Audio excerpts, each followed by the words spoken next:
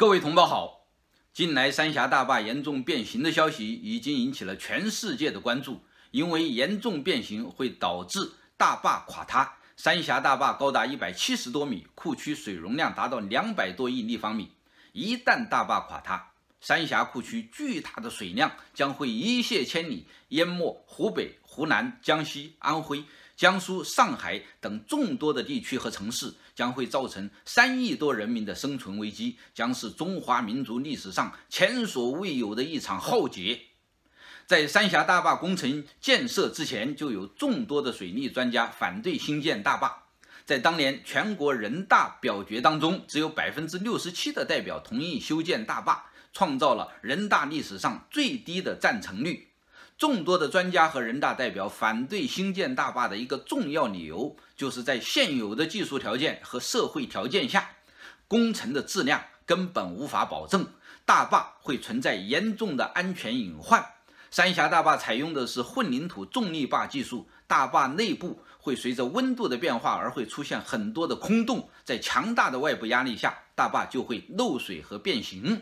而且在兴建过程中。各级负责机构和施工单位都普遍会存在腐败现象，不可避免的就会影响大坝的工程质量。所以在蓄水之前，大坝就已经出现了八十多条裂缝。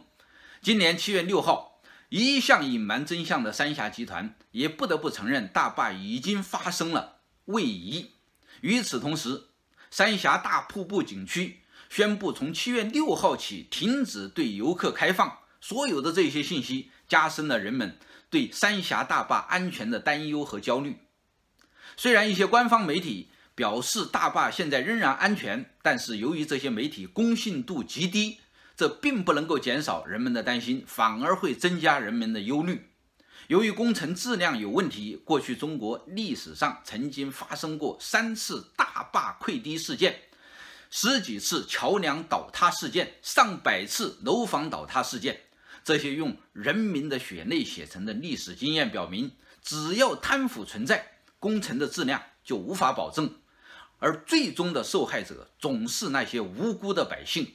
我们绝对不能够允许三峡大坝在毫无预警的情况下倒塌，中华民族乃至整个世界都不能够承受这样巨大的人道灾难。现在。一些地方的公民已经形成了关注三峡大坝安全的群体，还在电报上组建了三峡安全关注平台，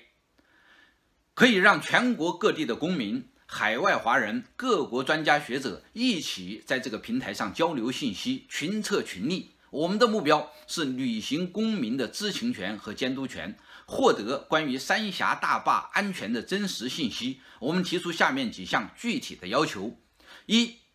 邀请国际权威水利机构和专家对三峡大坝的工程质量、安全性能进行联合的检查，并且发布正式的公告。二、在没有完成彻底的安全检查之前，三峡大坝不要蓄水。我们也向所有的安全受到威胁的在三峡大坝下游的居民向你们呼吁。尽快的形成本地的互助群体，然后通过电报加入三峡大坝安全关注平台，以便交流信息、商讨办法、协调行动。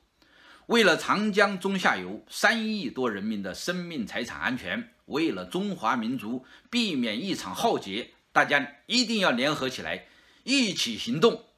下面是注册使用电报的方法和通讯安全守则。只要遵守基本的安全守则，电报就是世界上最安全的通讯工具。